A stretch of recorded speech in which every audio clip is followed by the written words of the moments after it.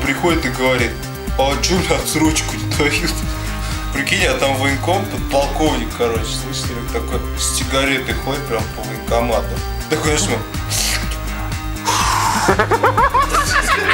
такой, знаешь, а ты что думал-то? Пойдем ко мне в кабинет, я тебе все покажу. Подходит, короче, отец этого чела. Такой, знаешь, ну, пойдем к вам в кабинет. А, сначала он телке его сказал. А наш такой стоит. Он же со всей семьей пришел, телка. говорит, а почему на не дают? Он говорит, пойдем ко мне в кабинет, я тебе тоже покажу.